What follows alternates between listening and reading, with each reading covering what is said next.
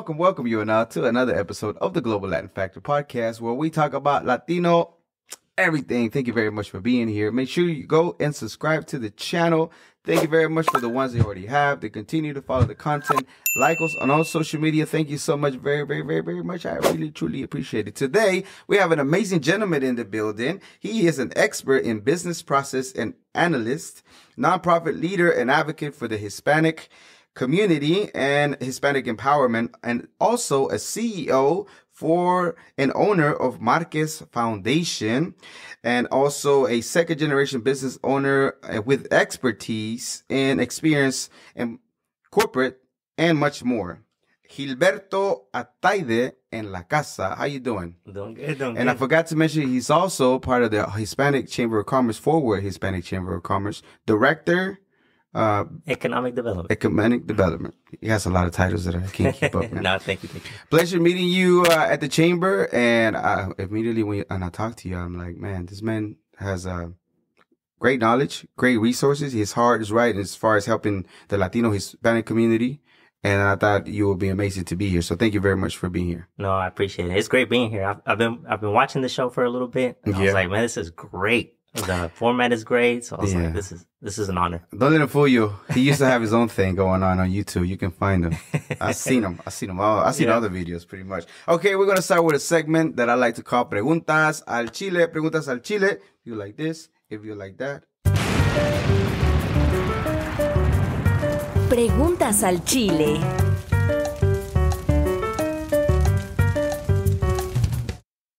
Are you ready? I'm ready. ¿Estás listo? I'm ready. ¿Tacos or tortas? Uh, tacos for sure. Tacos. Love tacos. What kind? Where'd you go to? What qué Uh, tipo? tacos de bistec or al pastor. Al and pastor. typically, if I if I go to a place, I'm gonna try both just to see how it is. Because some Which one? places got really good al pastor tacos, but some places Ah. got you know bistec. So so far, which is the best place you found that has the best tacos for you? Oh, the best place is in Fort Worth hmm on Seventh Street.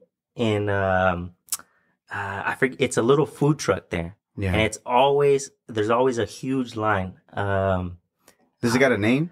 I salsa no limon something. It's not salsa limon, but it's something limon. Mm. I think I've seen the. It, it's always there on Saturday, Seventh Street. If you're just passing by, like you'll see a huge line, like around 11, 11 12 o'clock. That's awesome. So Yeah. you know you're in the right place. Corn tortilla, flour tortillas, Uh, corn tortillas. Gorditas or pupusas. Ooh, that's a tough one because pupusas are good too. But gorditas for sure. Because I, I remember growing up and I had an aunt that used to sell gorditas. Ah, So it was, it's nothing, when they're fresh, there's nothing like that. yeah, that's true. That Yeah. Mexican coca or jarrito. Probably coca. Yeah, the Yeah. Mexican coca. Yeah, they do have a different flavor Mhm. than the American coca. Yeah. Or agua de horchata, jamaica or tamarindo. Oh, that's a good one too. Definitely agua de horchata though. Yeah, Yeah, it, it goes, I think it goes better with the tacos. with the tacos. yeah. What is? Uh, let me ask you this: What is the best water you had so far? From what place? Ooh. Um, there's a place in Arlington, uh, and it's a taqueria on Pioneer. It's a little like a, a little place. I don't even know if they have a name, but it's been there a really long time. And uh, they have the best salsa because it's really, really spicy. Mm-hmm. And uh, they also have the best aguas. They have a couple, but the agua de horchata there is so good. Do you like the um, mom and pops, the little hole in the walls that Oh, can nobody yeah. find? That's the where you Oh, yeah. where you find the best food. Uh, we is. used to, my dad used to come home from, uh, like panaderias. There's Mhm. a lot of panaderias that sometimes serve food. Oh yeah, yeah. And so, uh, yeah, brisket tacos, uh, brisket burritos are good too, uh, from several different panaderias that we've had. But for sure, the, the little hole in the walls. Would man, you can consider find- yourself a foodie? Somewhat of Uh, a foodie? Trying to discover some of the good spots. Maybe a little bit. Yeah. I try not to go to like the franchises if I can avoid it, you know? That's what. Yeah, if it's a if with, if with the client or something, then yeah, we'll go somewhere a little bit more well known. But if it's by myself, I'm going to a little little places that nobody goes to. What I tell you, man, this man be supporting the community. okay, check it out. Salsa verde or salsa roja? I like both, but salsa verde. Salsa Gotta go with verde. Yeah. Team salsa verde all day, every day. Yep. Okay. Menudo or pozole? Oh, I like both too, but I I'm gonna go with menudo. Yeah. Menudo on the weekends or uh, uh, Sunday mornings. I think it hits the spot. Okay. Another one. Where's your favorite spot to get some menudo locally in Fort Worth? it's a lady that makes it Ah. on Sundays, and she delivers. So we'll put an order in, and sometimes she'll bring it out to us. That's super low key. Yeah. That is the best one. Somebody still is getting down somebody's mom with the amazing thing. You can't get it nowhere. It's the best. Yeah. Absolutely. Do they give you the? So when I got here to the states, it's the first time I ever tried menudo, but they used to give uh, with tostadas. Oh and I know there's people that like bolillo or Mhm. mantequilla or Mhm. tortillas. What do you prefer? With uh, bolillo for sure, and uh, usually without the hominy. Mm. I, I just like the meat, Yeah, yeah, yeah. and uh, and yeah, it's it hits the spot. yeah. for I like I like the hominy. Not no more though. I retired menudo, but I used to like the hominy. Yeah. Valentina Tapatio Cholula hot sauce. Oh, just because I love chips and Valentina.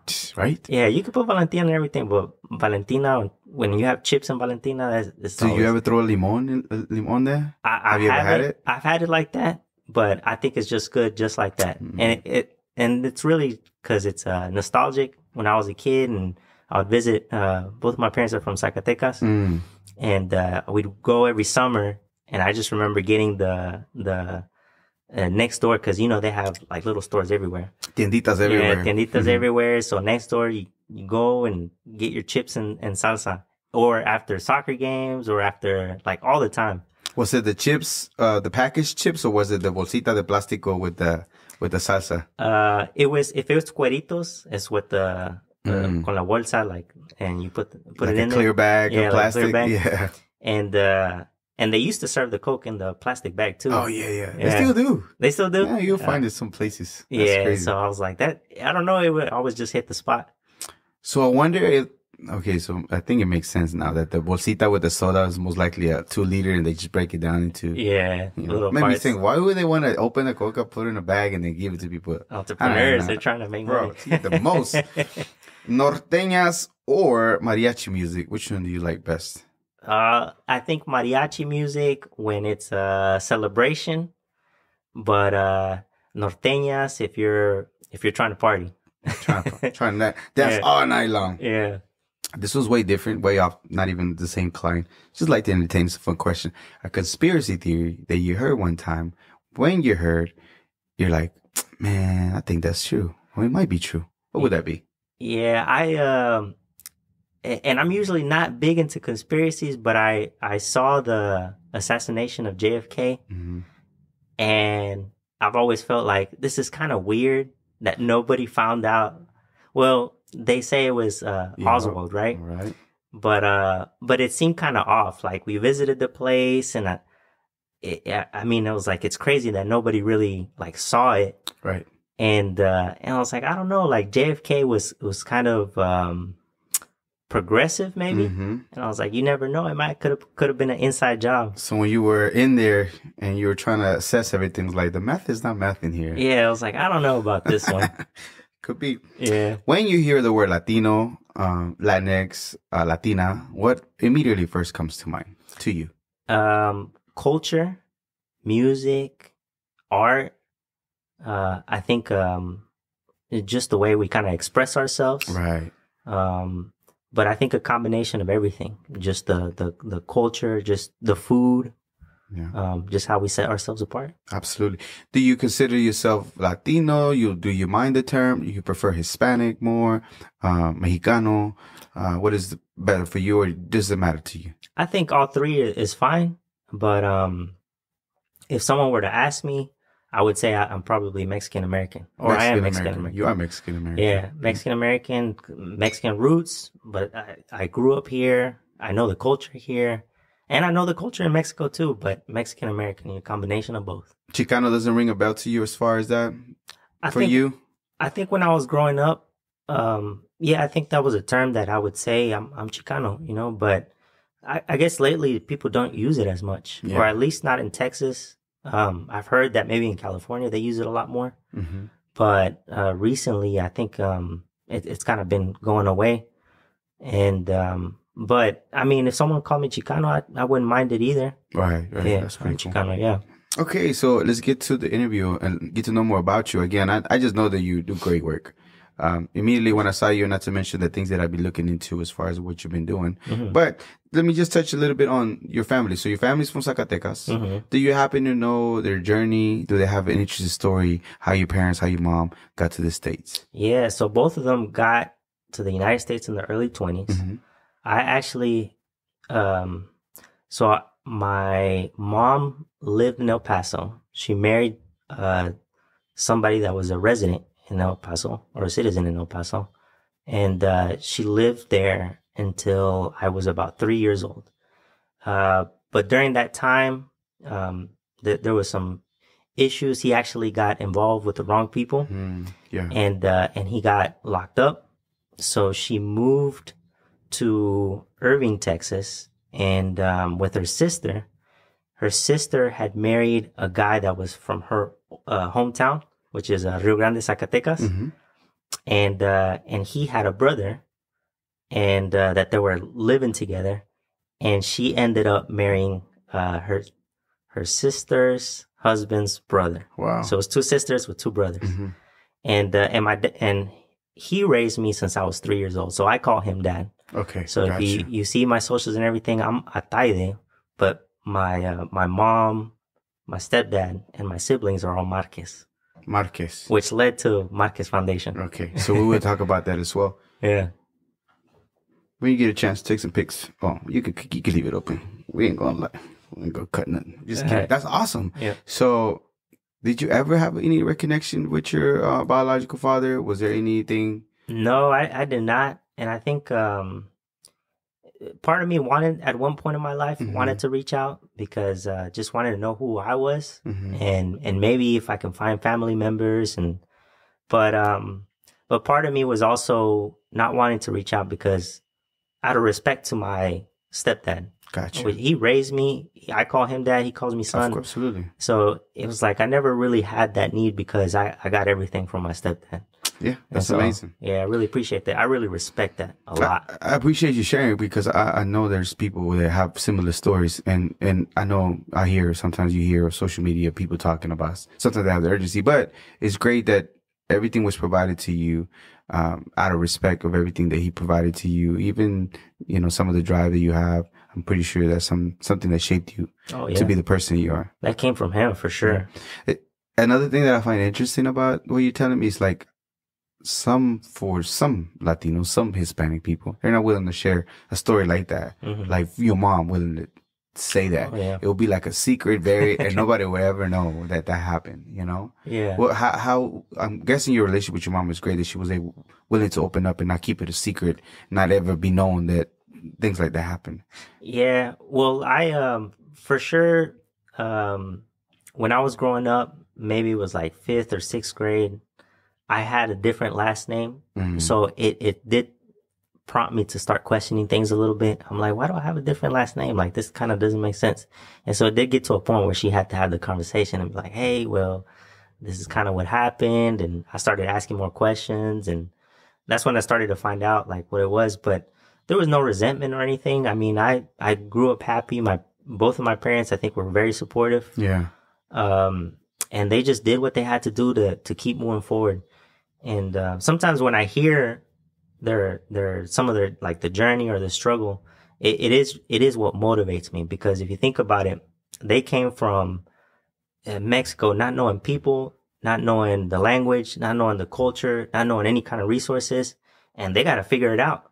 Mhm. They had to come here, try to figure it out, and somehow they made it work Yeah. uh, my dad was in construction for uh, maybe 15 years, digging holes. Like foundation repair is a tough, tough, tough job. Mhm. Yeah.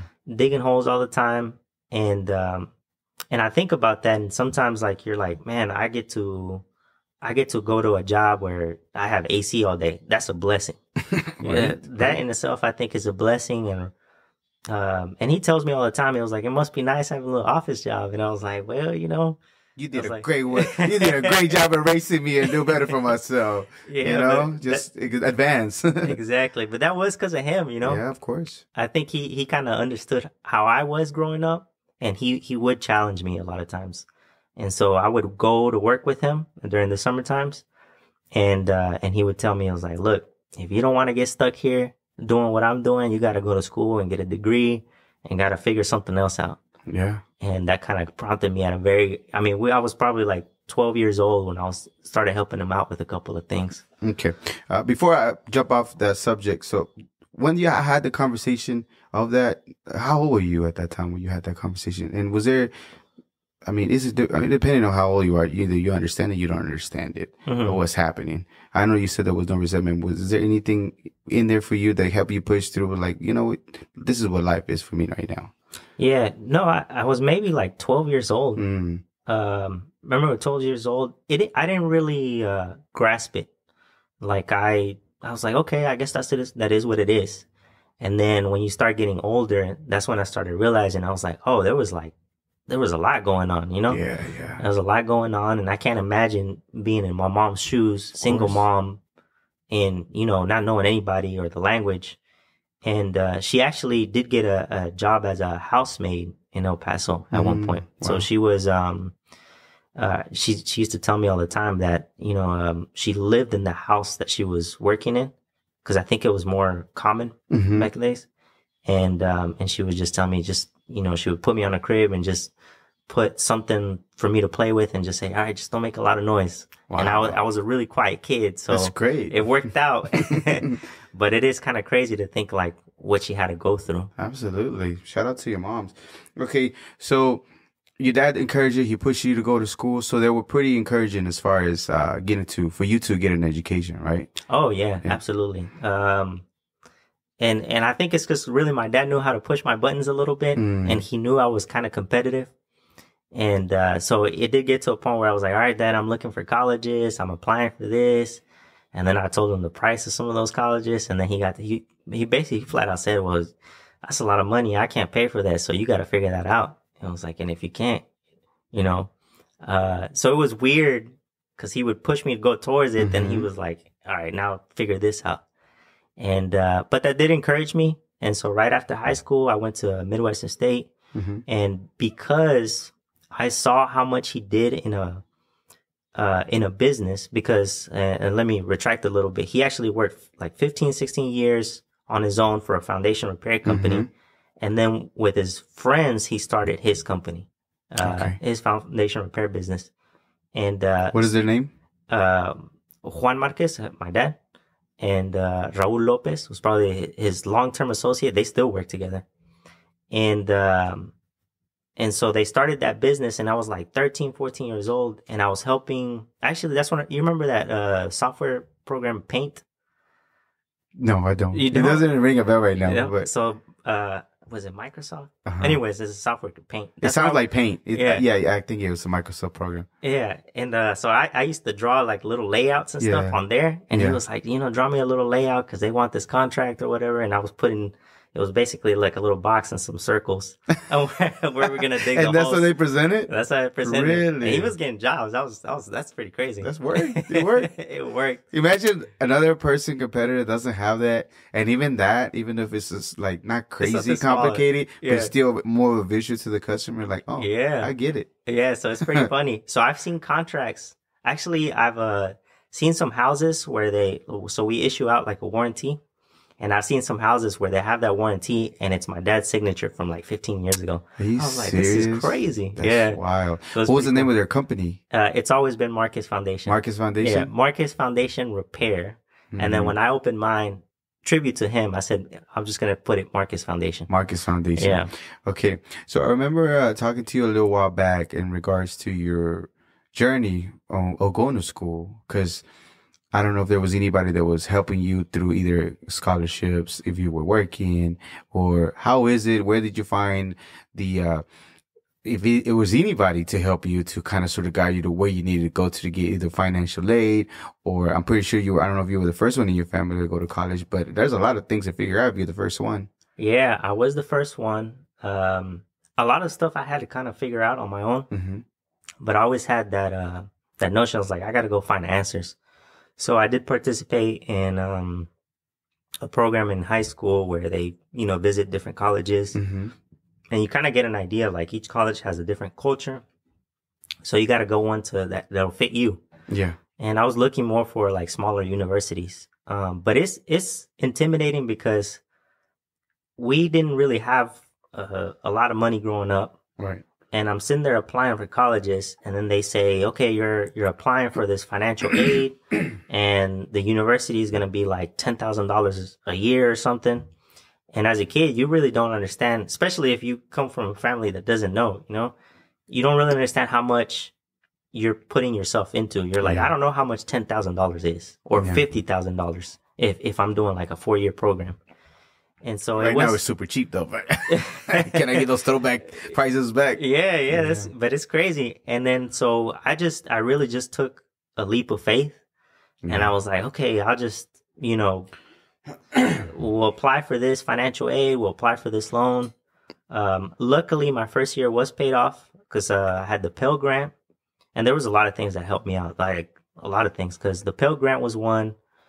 Um, maybe even like affirmative action a little bit Yeah. because I, I went to a majority minority school Hmm. okay. and um and uh and I wasn't um I wasn't as I mean there's isn't not a lot that you can put on on a resume when you're applying for a, a college or university or at least I didn't have that at the time Yeah. and so I wasn't the I wasn't as studious as I I guess I am now like I kind of changed that over the past couple of years but I did uh I was good at testing and that's what helped me out and I was right there on that margin So for you, okay, because I was the same way. I didn't no extracurricular besides soccer. that's And what I had no no need to go into yeah be part of this group, be part of that group. You know, it's just nothing Yeah. for me like that. Did that really for in your experience for anybody that's applying for college? How important is it for you to be able to get those things? Because I didn't even know you needed a resume to go to college to get it ready for them to for you to submit so they can even look at you and see if they're to accept. I'm just thinking they want your money, but that's not the case, right? No, I mean it does help out because, and I think it more so helps out on you in expanding your choices. Mm. Because when I was applying, I didn't even know what, like, um, like I applied for a business to, to a business school, Right. but I didn't know the difference between marketing and accounting and anything else. I just knew I was like, okay, business, you know. And I think if you participate in like extracurricular things or Mhm. you're volunteering in the community, you get to meet a lot of people in different career fields. And that's the one thing I did not have at all. So just having those conversations with different people doing different things would have opened your eyes to different stuff that you could have applied for. Yeah, absolutely. Different Mm. professions, different ideas. Uh, maybe it wasn't, maybe I didn't need to go to college. You know, maybe I did need to like just work with another entrepreneur for a couple of years or something and just kind of go from there. But, um, I'm glad I made the choice. And, uh, and when I was in college, I actually learned a lot about myself. I realized I had no idea how to study. Mm. Like my first semester was terrible. And um and I had I had to change that. I talked to a few people in the dorms because I lived in the dorms.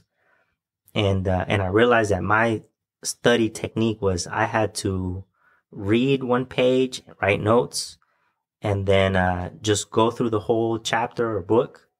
And then uh, to study I would go back and just highlight the things that were important and then make additional notes on my notes this Mm. means that or this means that and then i'm digesting it and that was the way i learned uh, all four and a half years that's how i study Who was the one that introduced you to that method or realized that that's the way that for you was the best way for you to learn? it was a it was a good friend of mine that i met in um in the dorm rooms Yeah. um i know uh there was a so jared smythe if he's watching. Yeah so he kind of helped a little bit with that and um and it was really just talking to different people. It was like hey what do you do? And uh and started forming like study groups. And that's when i realized like study groups help out a lot too because uh you get the perspective of someone else when they think like i read this and this is what i think it means. And then you're like oh you know what? You might be right. And uh and so then you write that on your notes and you're like and when you're going through the exams, you're you're comparing and contrasting and trying to figure out like what's the best fit. That's cool. Yeah, and there's uh there was a professor that was tricky though that he would give you um uh, a question that was like a paragraph long. Mm-hmm. Uh, I remember this in my marketing class, like a paragraph long, and then he would give you like six or seven different answer choices, Mm-hmm. and then he would ask you which one's the best answer. And you're sitting there looking at that question like, all of them seem right. Like which one's the best one? So I think when you start having that dialogue with somebody else, that's what really helps because you're like, okay, this makes more sense because X, Y, and Z. You know, you're Just really little phrases, little words that makes a difference to be like, yeah, this will be the best. absolutely. Man, Yeah, it was tough. were you working at that time also, or were you just depending on financial aid, loans, or different things that you got? Yeah, I was working at uh I was working at Sears most You- of the four years. Oh, nice. Uh, do they still have Sears? yeah, there still was a few. They there's call few. it something freight now. Freight something. Yeah, I was It's a, working it's a different story now. It's something freight something. Harbor, freight harbor, Freight Harbor. or harbor freight. One of the two. It's a Sears store technically. Yeah, yeah. Yeah. So I worked at Sears, uh, and I actually really liked working there uh, because I got introduced into sales at Sears. So what department were you? Uh, at first, I started out as a cashier, Uh huh. and uh, they had little incentives like if you uh, sign people up for credit cards, you get five dollars or ten dollars. And so I had part time job. I was like, I mean, every person that comes in here, I'm gonna try to offer it. Every little uh, money helps. yeah, a little Especially money. when you go to school, you know, it could be the difference between having a maruchan of sopa or maybe McDonald's for that day. Oh yeah, and I, and you know what? Like I was I was thinking about about it like that Yeah. because sometimes I would even budget out my week, and let's just say I wanted to have spaghetti.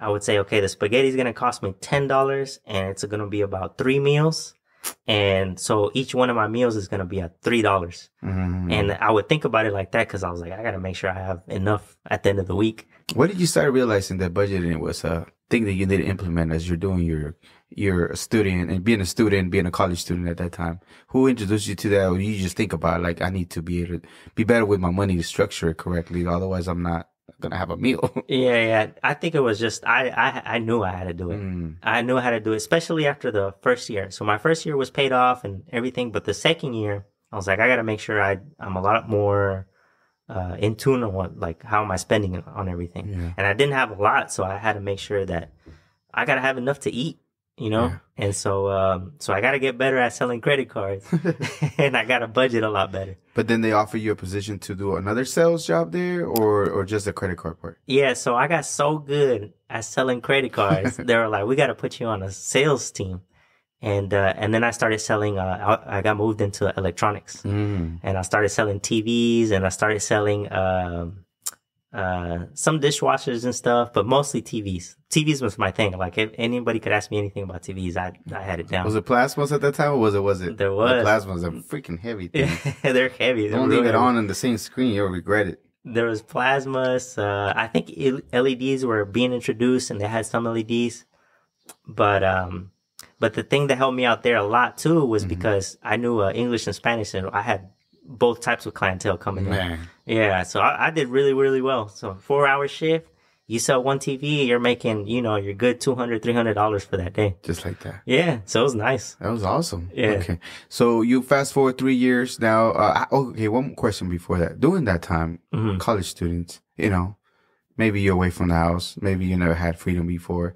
Are you trying to focus? But there's a lot of distractions. How Oh, did you keep being disciplined or just knowing that you needed to stay focused on school and not be Oh, yeah. distracted with maybe partying or not? Or maybe, you know, you put it in the budget Yeah. and you were able to get out, you know, to celebrate here and there. Yeah, yeah. And I did go out. Um, it got to a point where when I was doing better in sales, I did get a chance to go out a couple of times. But But that could jeopardize your studies too, though. So you have to have a balance. oh, absolutely, you have to have that balance.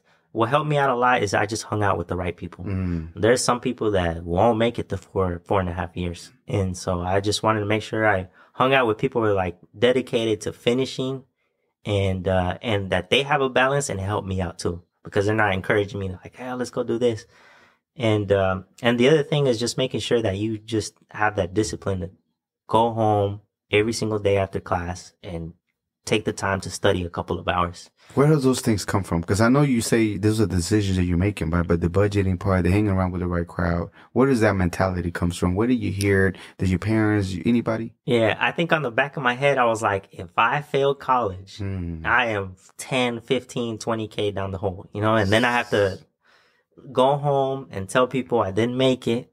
And then you have to get a job and try to figure it out. And I was like, I just didn't want to, I want to give myself the best chance. I didn't want to come home and look like, you know, I just couldn't make it, you know?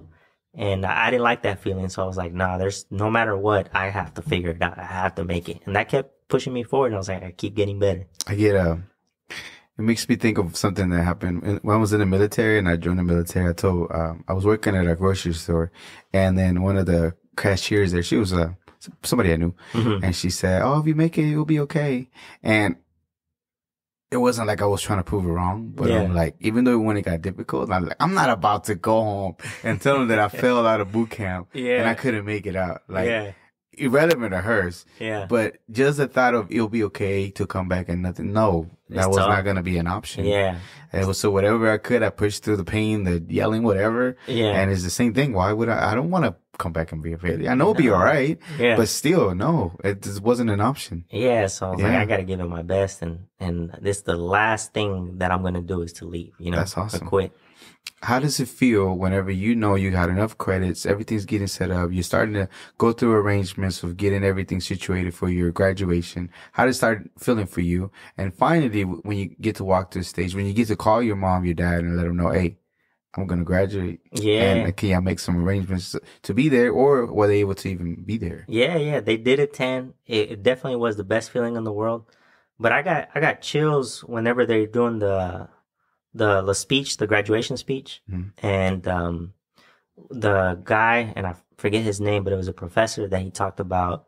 You know, you guys when you leave here, you're not just leaving here with a diploma, a degree, or a better job. Mhm. But moving forward, you guys are the leaders in the community, and it's up to you to shape it how you want. And it gave me chills, Sure, and I was like, chills too, bro. Just the way you saying it. yeah. Like, so I was like, you know what? He's right. You know, and when I go back to my community, and I, you know, I grew up in a in a, a neighborhood that's mostly, you know, Hispanic dominant. Mhm. I'm like, dang, I am a leader. Like, I do have to set an example, and that's it's an, another added pressure after you graduate, Mhm. And that that kind of helped me shape my career. And what do your parents, your dad, and your mom say whenever they? Oh, they're see- super super proud. Yeah. Super proud. Definitely my mom was was crying a lot when I Mhm. left because I, I was um you know there full time. And uh but after they were they were really, really proud.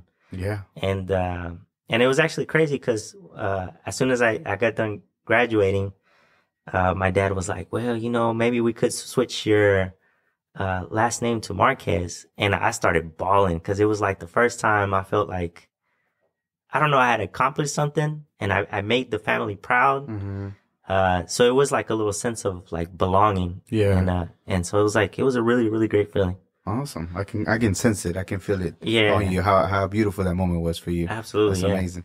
Okay, so you get to finally you get to the you know I always find it funny to me when jobs Mhm. require you experience when you just further graduate. It's like a catch twenty two. How am I gonna have experience with anything if I'm just barely graduating and have my degree? You know, Oh, I yeah. have the degree, but of course I don't have no work experience because I'm gonna be busy with schooling Yeah. you know so they, they require some of the experience so how was the struggle for you to try to find something because eventually you did find a job right Oh yeah. Eventually found it, but it wasn't something that I was planning. And I actually, right after college, I, I was really disappointed mm. because I could not find a job. My focus was marketing and I actually thought about doing design and working for this, uh, like, uh, different marketing agencies. yeah and I actually I went to an interview. Um, the guy was the guy was kind of rude. Mm. Uh, he went through a couple of questions, yeah and after he went through those questions, uh, at the end of the interview, I remember him saying, he said, uh, "I interview these uh, students from locally, and they all gave me terrible answers. I thought you'd be different because you're coming from a different city or from like Wichita Falls at the time." I was like, dang, that's messed up. So I, you know, it was a, it's a, it's like a, a punch in the gut, mm-hmm. like a reality check that I have not made it anywhere. Even after this degree, I have to figure this out again. So did you even finish the interview with that gentleman or you just walked out of a couple questions No, after a couple of questions, he said, he basically said, okay, I'm, I'm, you know, it's like, even more rude yeah, he was rude. Straight He- up. And he got up and, and so I was like, dang, that was messed up. So I left like just thinking like, what happened, you know? yeah what happened what am i doing wrong um I, I my parents don't really have a lot of connections so i really do have to start applying everywhere And uh, and then with that added pressure that now I'm in a lot of debt and I got to figure out how to pay this off in the next six months, or at Mhm. least start paying it off in six months. Mm-hmm. And so um, it was pretty tough. But I remember I was good in sales. I was like, all right, I'll I'll take a sales position. Right. And uh, and eventually I found a um, I started working at Farmers Insurance, and I found the position at uh, at a district office. Mm-hmm. And uh, and I was getting paid like ten bucks an hour with a college degree, but Wow. yeah, but uh, the guy was um, very successful. He had about 15, 16 agencies at the time. Mm-hmm. And uh, I said, well, I could learn a lot from this guy. And so he kind of became a little bit of a, of a, of a mentor while I was there. Yeah. But it's really where I, I tried to focus on my weaknesses. And I said, maybe I, I just have to get really, really good in sales and that'll get me another position. You know what I like your mentality of you is that even though it's challenging, you always see the opportunity. What can I learn from here and, and make me better? In addition to the importance of mentor, even though maybe he's not technically a mentor, but Mhm. let me have him mentor me without him knowing to get the most that I can and, and make me better. Yeah, absolutely. You have to find it. Especially if you don't have any resources, you got, I just got to pick people's brains and see Mhm. what works for them. Yeah. And I saw that he was successful. So I was like, all right, let me, I'll try this out and see how it works out. Okay. So you keep working, uh, United Health at one time it comes to them. Yeah. So, um, I was there 10 bucks an hour. It got to a point where I was like, you know what? I saw a lot of, um, agents or people studying for their licenses, becoming agents. And so I took the test. I passed both exams, the life and health and the property and casualty. Mm-hmm. and uh and and I basically I told him, "Hey, I'm going to jump into the agent role." And I jumped into it and I had a that was a whole another challenge too because you got to try to find clients as a 21-year-old kid. I'm Yeah. scrawny, like nobody's going to nobody's going to be take me seriously, you yeah, know? Of course. But uh but it was funny because I figured out that I just had to get really really good on the phone Mm. because you can't tell what age I am if I get on the phone and I start talking to you about insurance like you're like, "Okay, this guy Make your knows his voice a little deeper too. yeah, but it was a little deeper. Hey. I was like, you have to, you have to figure it out. So uh, I did that, and uh, I actually got pretty good. It got to a point where I was selling some policies every single month, and there were certain metrics that you had to hit. Mm-hmm. And so I hit my metrics, and uh, at the time they had a program where they said if you, I think it was like forty policies and four life policies per month, we can offer you a loan to open up your own insurance office. Oh wow. And so it was like, I don't know how much it was. I, I think it was like a little bit over a hundred thousand, somewhere around there. And, uh, and they gave me the peppers to sign and I looked at it and for whatever reason, just something told me it wasn't right, or at least it didn't feel right to me. Mm-hmm. I said, no, I, I have this school loans and now I'm going to sign another, you know, hundred thousand dollars. And I was like, I, I feel like I'm going to get stuck in this for 15 and 20 years. And I haven't explored everything I wanted to explore. Mm-hmm. And so, cause really I only got good at sales at that point. And so, um, It's a great skill to have. it's a great It's a skill. great skill to have. Absolutely. And then some people make it with sales. Like this is, this is amazing. But I just had this like, uh, curiosity. I was like, well, if, if I got done this much with what I had, like imagine if I learned a little, a few more things. And so it was a sales season for health insurance. And, uh, it was probably during, it was Obama that passed the Affordable Care Act. Mhm. And so I thought, you know what, there might be a lot of uh, growth and opportunity in the health insurance field because maybe that's the way I can get promoted to different things. You got to find something that's growing. Right. And so I was like, I'll jump into that. I um I, I received an email for a, a position at a call center selling uh, Medicare Advantage plans, Right. which is a um it, it's part of it. It's part of um it's health insurance, but it's a it's a plan that adds on to your Medicare Okay. So additional Sure. to. additional to it. So it includes dental, vision, hearing, uh, and anybody aging into Medicare typically needs some kind of that supplement. And so, uh, I went into that. It was just a, um, it was just a contract for like six months during the Mhm. season, and we were supposed to be let go after that. But they were paying well. I think at the time it was like eighteen bucks an hour. 18 from Yeah. 10 is a big difference. Yeah, it's a big difference. So I was like, all right, I'll jump into it. We'll see how it goes. And then uh, I went into it.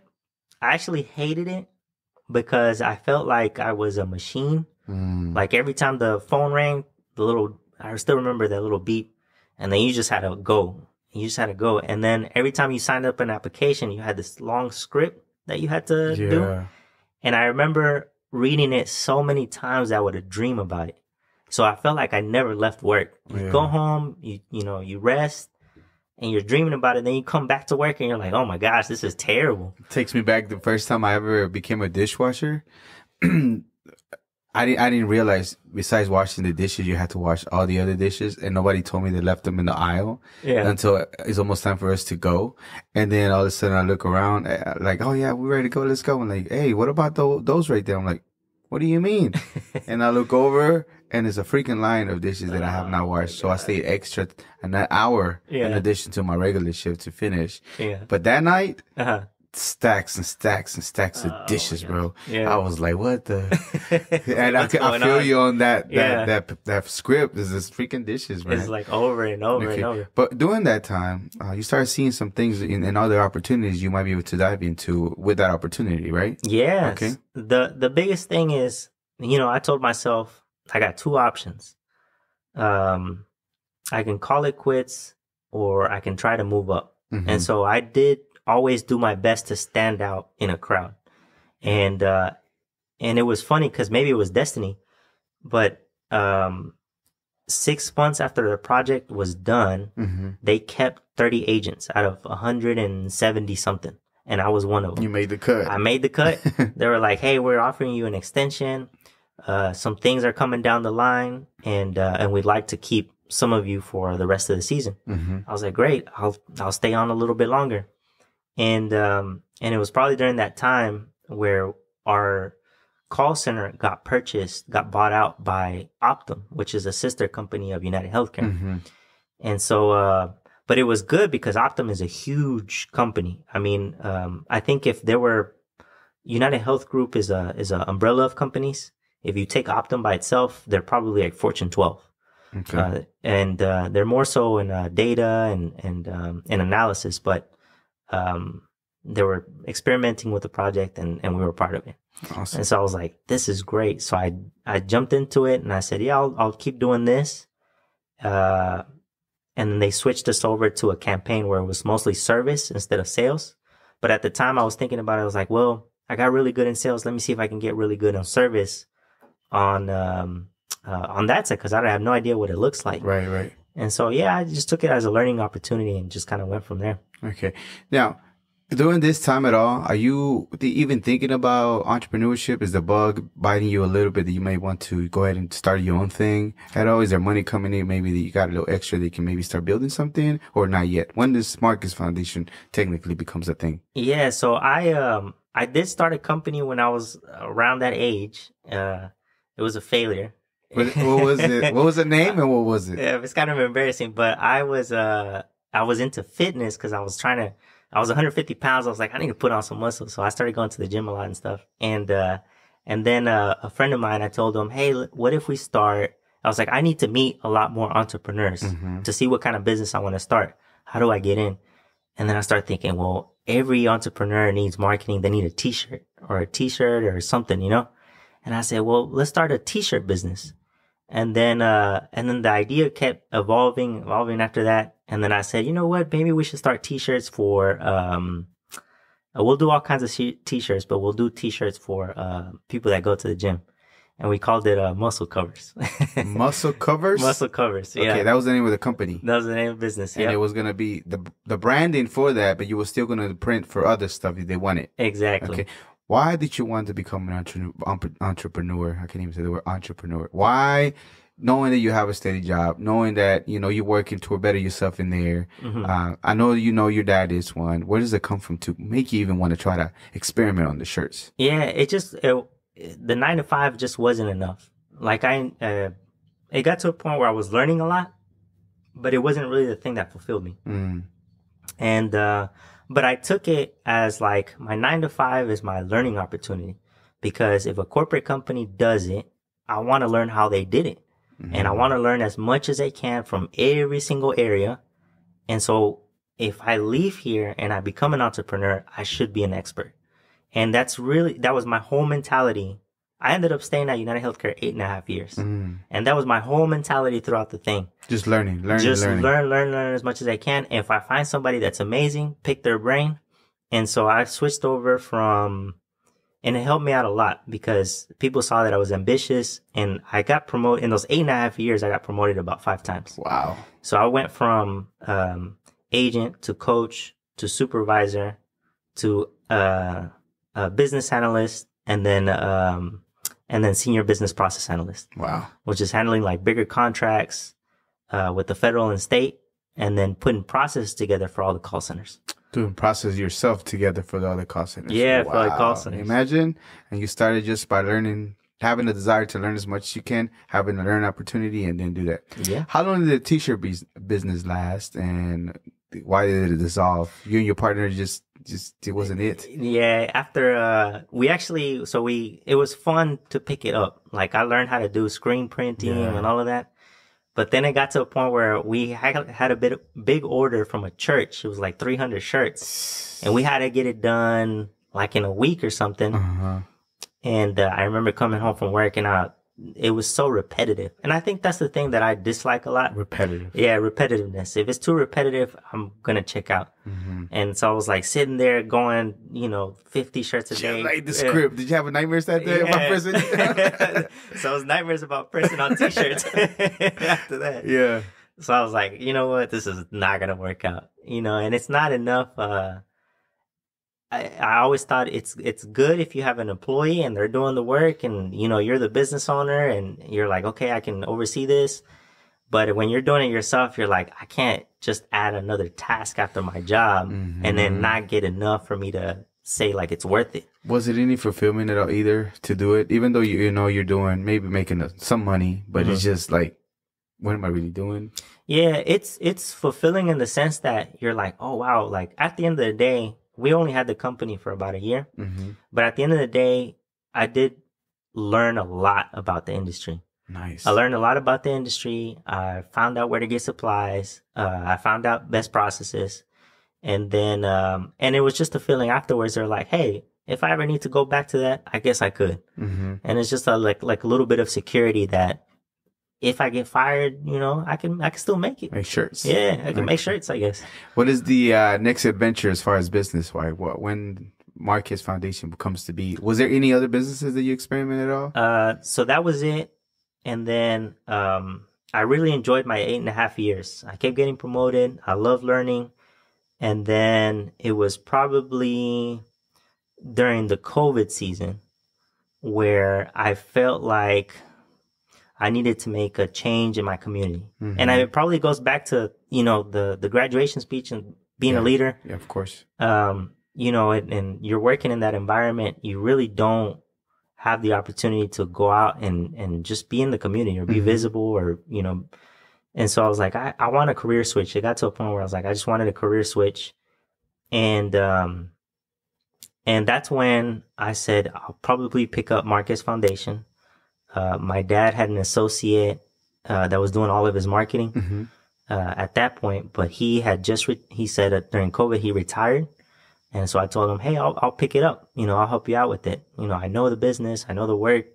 It, it won't be too hard. And Yeah. so I started going to networking events. Mm-hmm. And then I show up to one networking event where it was a, it was actually a brand new chamber of commerce. It was the Greater North Texas Hispanic Chamber of Commerce Mm-hmm.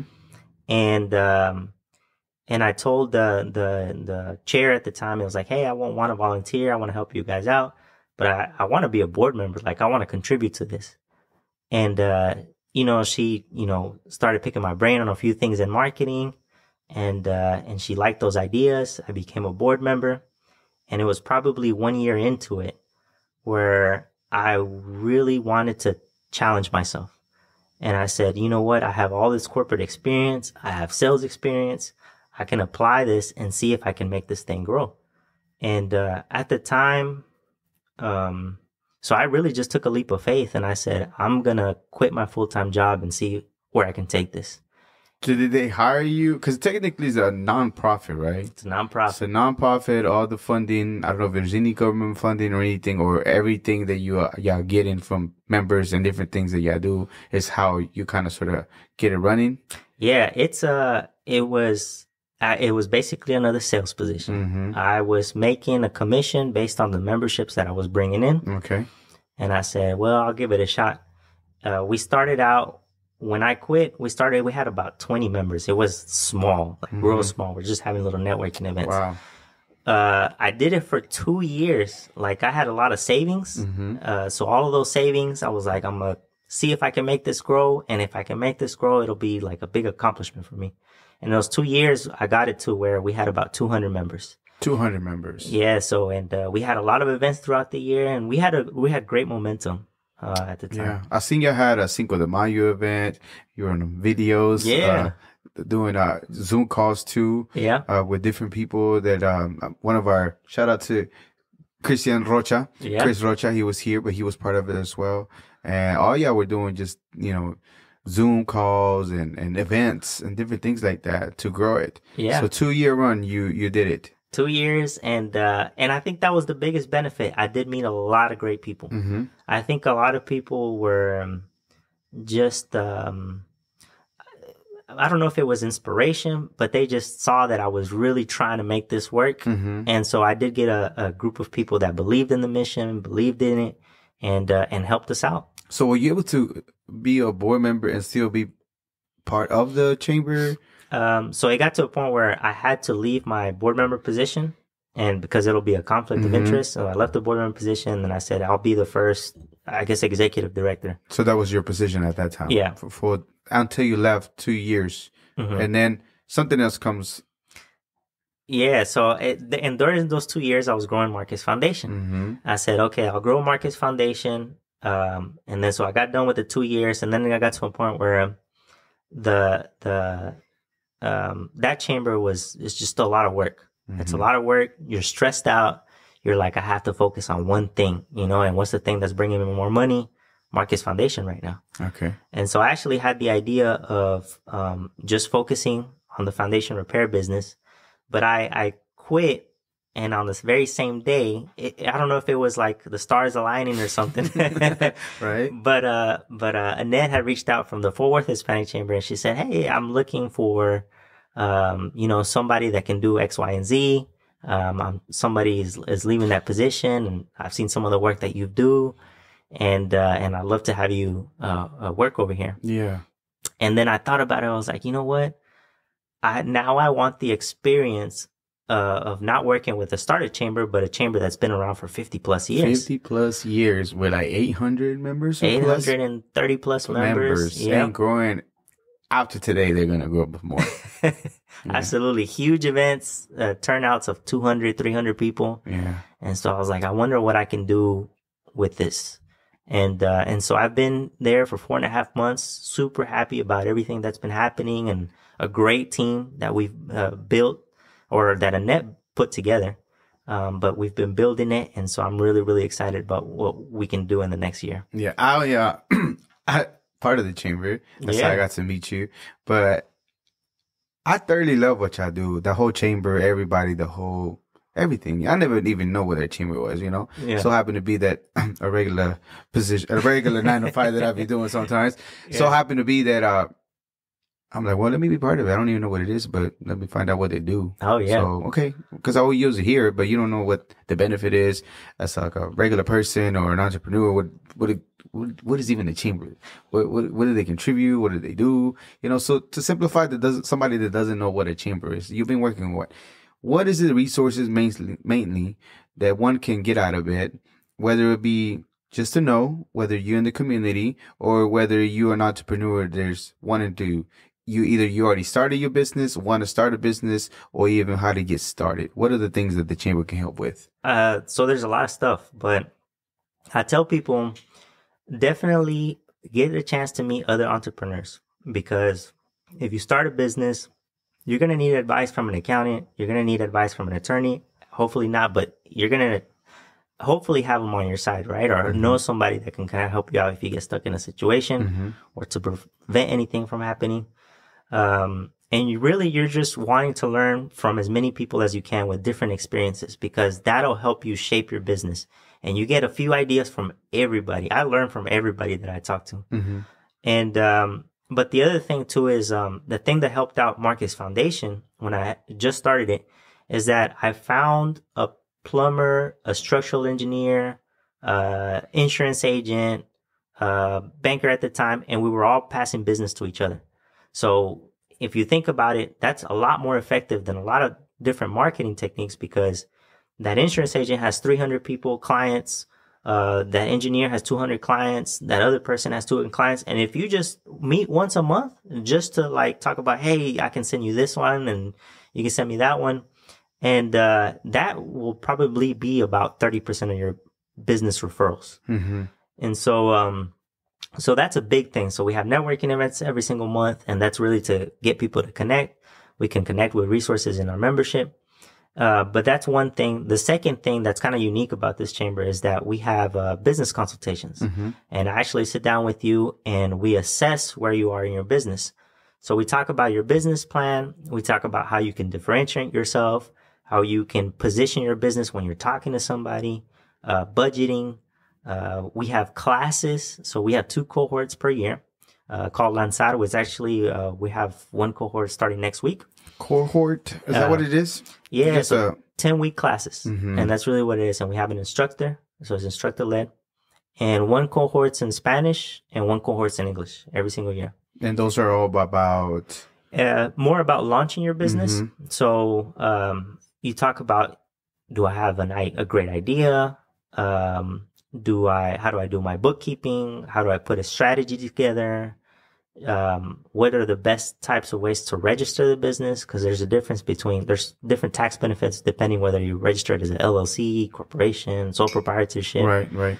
Um, and so they really go through those basics to make sure that once you launch it, and that's why it's called lanzar, Mhm. that you are ready to go Great. and ready to position it. Okay. And all these um for members and non-members as well if you wanted to get some of the the knowledge of how to even go about if you have the little itch of becoming an entrepreneur want to have a great idea think you have a great idea. You can actually really get honest feedback as far as like it could be a great thing or uh, you might not want to hear it but it might not be something that's going to make you any money Yeah, and I think, uh, and more so, I want to encourage people. Like, I won't discourage anyone. It is free for members and non-members, but we found that if we do take the time to educate and go through the process, they'll become members anyways, Mhm. especially if they're serious about growing their business.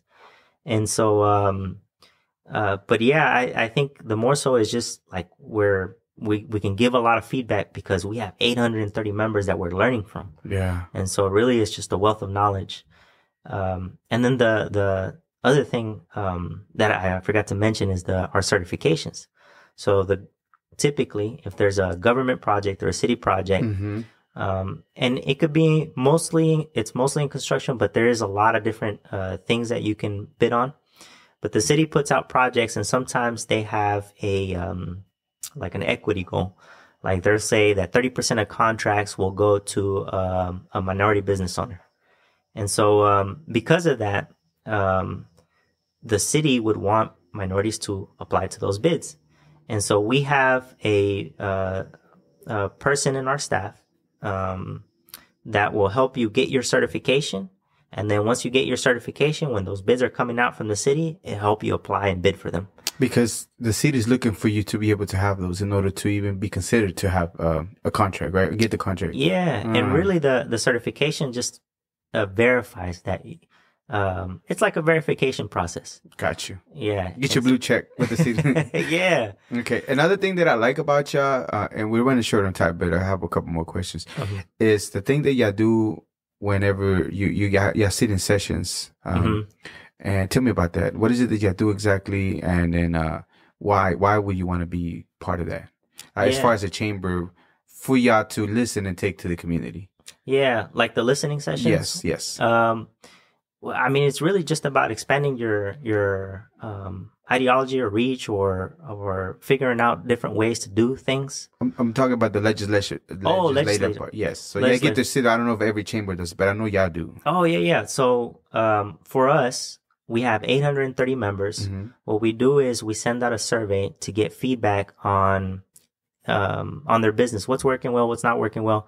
from a legislative standpoint. So what policies are helping you and what policies are hindering you. Mm-hmm. We put an agenda together and then that agenda, we talk to state representatives, local officials, and we'll present it in, uh, in Austin every legislative session. Mm-hmm. Legislative sessions are every two years.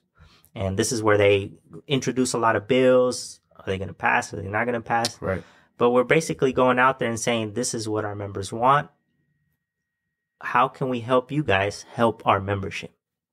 And, and because of that, it's like we're giving a huge voice to a community. Mm-hmm. And that's how you can open up, open opportunities. If there's a law that passes that'll help out our business owners, I mean, that's something that's going to help them three years, four years, five years down the road. Okay. And so, yeah, it, it, it's, that's a way to create sustainability in the community. Okay. And then that also plays part of how important it is for people to vote. So I know you have a passion for it as far as letting people to know that they do need to, but how important, I know it's important, but you can tell me in your own words, why do you think people should be able to exercise their rights for, to, vote To vote. and, and make voice their opinion on what the things that they want to see in the legislature or bills or whatever? Yeah, and the way I see it is like the Hispanic community in the United States has a huge opportunity. Mm-hmm. Like right now, I think 14.7% of eligible voters are Hispanic or Latino. And so you think about that, then we can make an influence in the federal level. At the local level in Texas, Hispanics are the majority. Mm-hmm. So really, if you think about that, Hispanics can, if everyone voted, we can influence how the state should look. Right. And then if we think about it, there's about, I think there's about 12 million Mexicans that can actually vote in the Mexican election, Mm. which is crazy because now you're thinking about if our community was just engaged, we can influence elections in Mexico. We can influence elections at the federal level, at the local level, at the state level.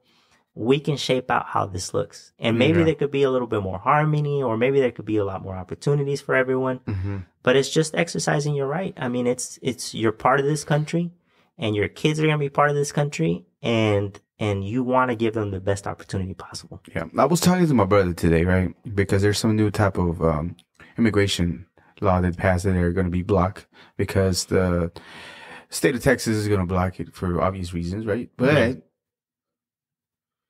I just became a citizen two years ago, Mhm. even though I've been um, um, a resident for many years.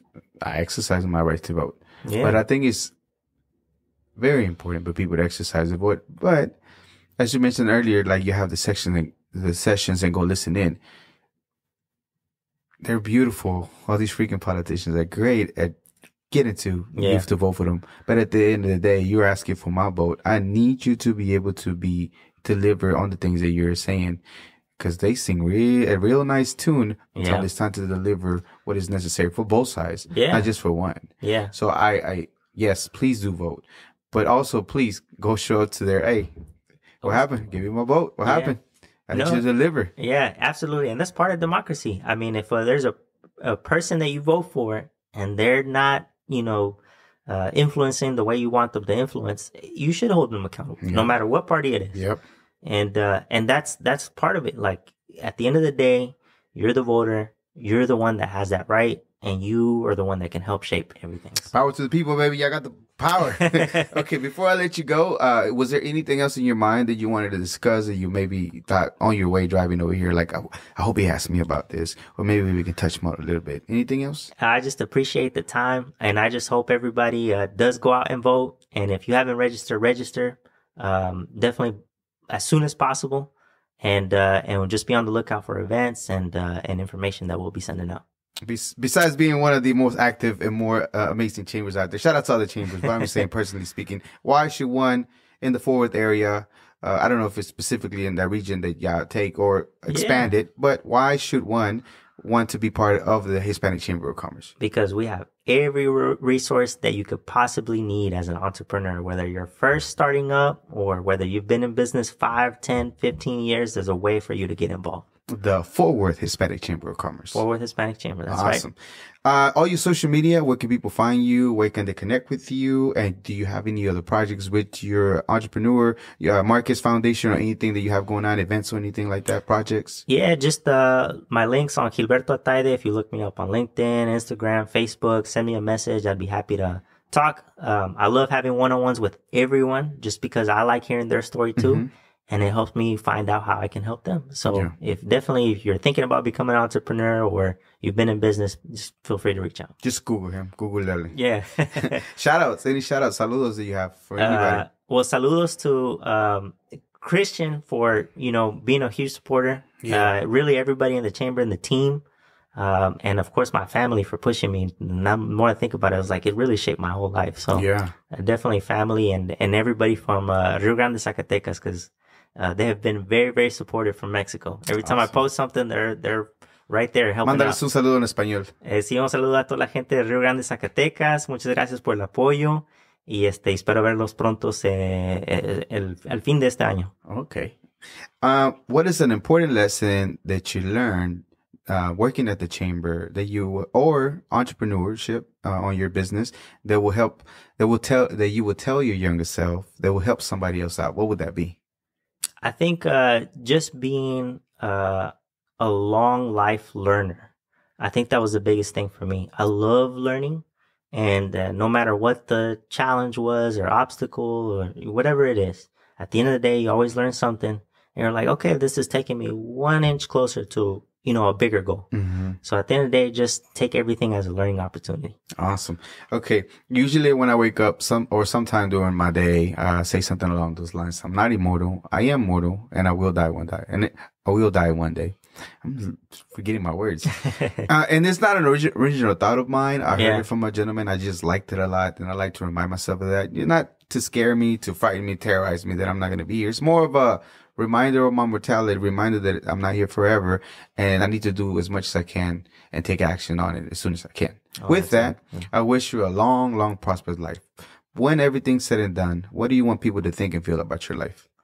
Uh, I definitely just want people to know that Hispanics do help each other out. And there's a lot of Hispanics that want to help each other out. So I'm, my whole family was that way. I'm going to be that way my whole life because whatever you put out in the community, it'll always come back to you. There's uh we had the discussion before about how I learned from a gentleman that a lot of the time it's like an unspoken thing. If I help you out, you're gonna help me out, scratch Yeah. my whatever the case might be. But it just keeps things flowing and going, right? I, I don't have to hold things that I have a refer for you if you can help them out. But I know in return, without even me telling you, hey, make sure you take care of me, you're gonna take care of me regardless at the end of the day. Yeah. Because you and, and the group of people that you work together been doing it forever, right? So what is stopping you from referring somebody else that, if you can't do the job, why are you stopping somebody that needs a job, needs something done to have somebody else do it if you're not able to, you know? Yeah, absolutely. So why not? We do help each other out. absolutely. We need, uh, there's a few people, like every freaking place in the world in the community that a lot of times, for whatever reason, they're bring in, maybe they're just a little bit more selfish and want to do it just for them and not the best interest. But Yeah. we got to weave them out and have the ones that really are willing to Yeah. help the community, willing to help people out, uh, to, to help each other out and, and push each other forward. absolutely. so- Come back.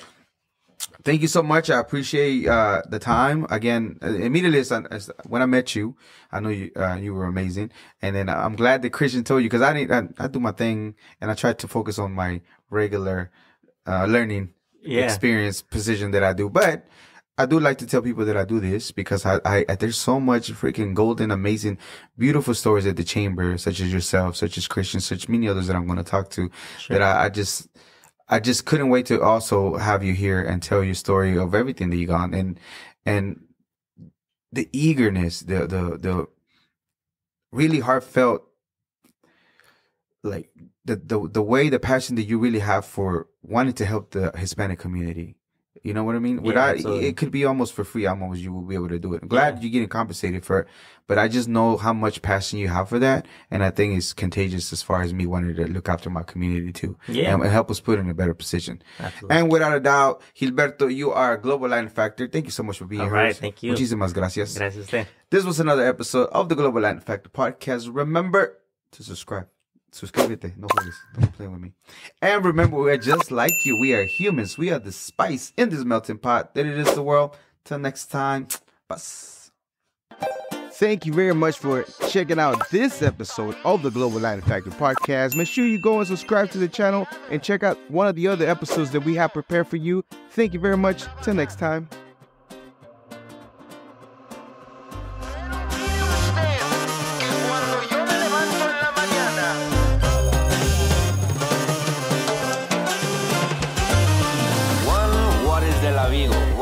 Pero but in fact is a flamingo. Coming to Havana and reflecting